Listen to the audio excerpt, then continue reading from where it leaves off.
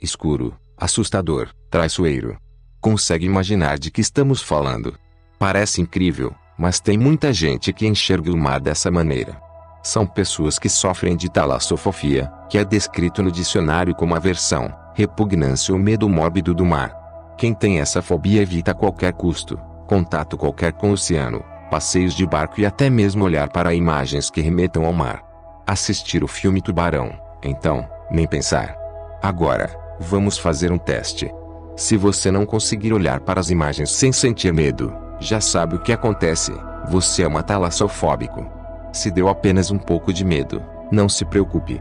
O imenso vazio, a distância da Terra, as ondas gigantes e a imprevisibilidade do mar podem ser realmente assustadores. Mas se você sentiu tremores, náusea, vontade de chorar ou sair correndo, o caso pode ser um pouco mais sério. A boa notícia é que algumas terapias como PNL, programação neurolinguística ou hipnoterapia podem amenizar o problema ou, até mesmo, ajudar a superar o medo do oceano.